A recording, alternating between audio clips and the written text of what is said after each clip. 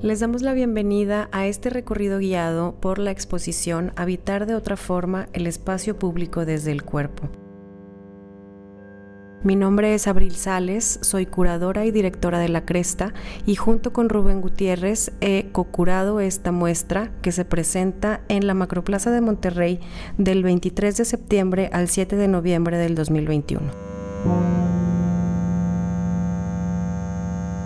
Rubén Gutiérrez es curador, artista y director de ONF y hemos disfrutado mucho trabajar este proceso de co-curaduría para presentar seis piezas de artistas con trayectoria nacional e internacional que han trabajado piezas específicamente para el espacio público de la Macroplaza en la ciudad de Monterrey. Acompáñenos en este recorrido.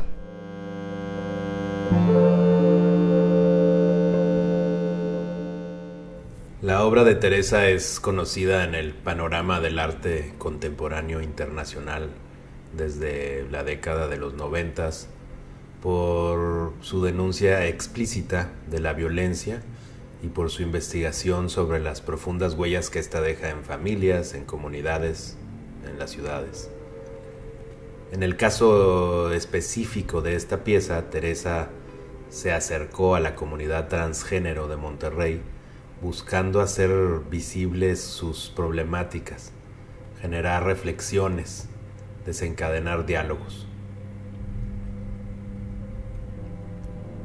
Una mesa y dos bancos es una pieza hecha con cemento y materiales recuperados de tres lugares distintos de la ciudad, en donde ocurrieron hechos violentos en contra de la comunidad transgénero.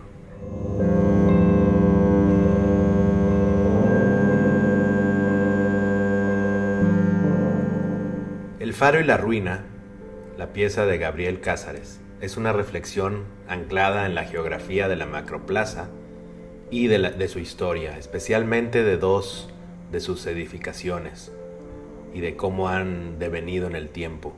La primera, el emblemático faro del comercio diseñado por el estudio Barragán y Ferrera, el cual de alguna manera sintetiza eh, esta representación de los valores morales y culturales de, de los regiomontanos de la época o de los empresarios regiomontanos de la época y las formas en que se emplazaron en el espacio público para de alguna manera guiar a la población de la ciudad de Monterrey en esta visión moderna de progreso.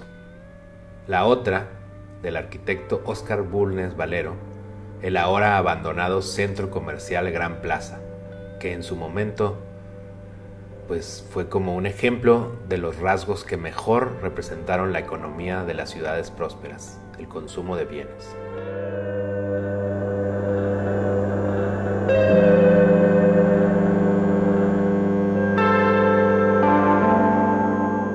Error es un colectivo conformado por Nina Fioco y Oscar Formacio, con sede en la Ciudad de México y en Puebla.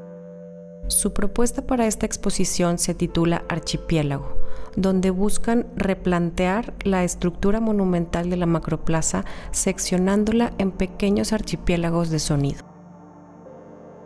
El resultado es una escultura en bajo relieve que se acompaña de un cuento y un video que podrán observar en los alrededores del Teatro de la Ciudad.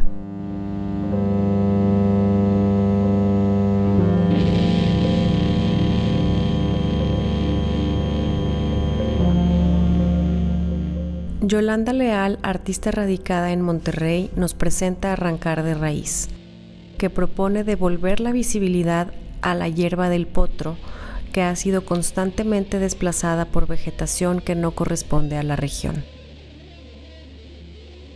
A manera de laboratorio, la artista cultiva la hierba del potro y en tubos de ensayo rodea el árbol fresno más antiguo de la zona del parque hundido de la macroplaza invitando a paseantes y espectadores a repensar las condiciones ambientales de nuestra ciudad.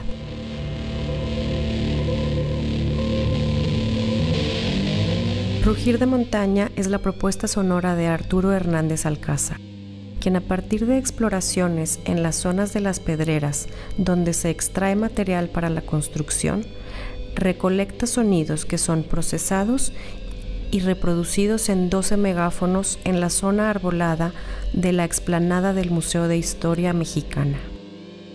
Este proceso de transformación de la montaña en ruido invita a una reflexión sobre los modos de consumo y del modelo de desarrollo vigente.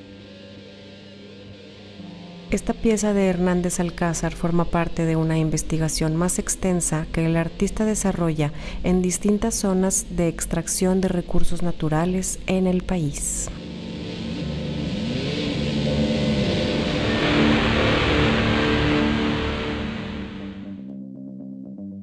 La primera vez que apareció el Banco de Tiempo fue en el 2009.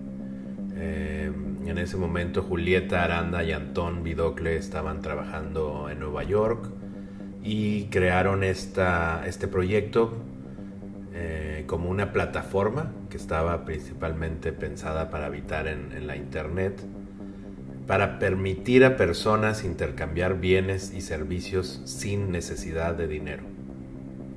Este primer eh, activación del banco de tiempo mantuvo una base de alrededor de 5.000 personas en todo el mundo que intercambiaban su tiempo y sus, habilidades eh, utilizando el banco, la pieza, como un intermediario.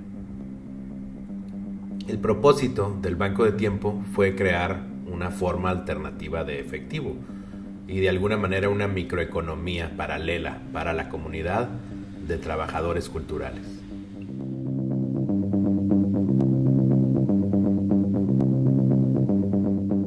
Las actividades paralelas que acompañan esta exposición se conforman por una escultura compuesta de desechos electrónicos realizada por el artista Juan Pablo Villegas y un ciclo de cine experimental, selección de la Escuela Superior de Cine de la Ciudad de México.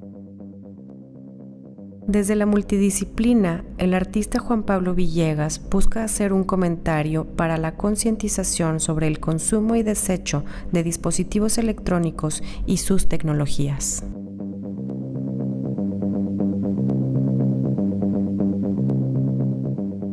Agradecemos al Festival Internacional de Santa Lucía que por cuarta ocasión apuesta por las artes visuales y por el arte contemporáneo en el espacio público.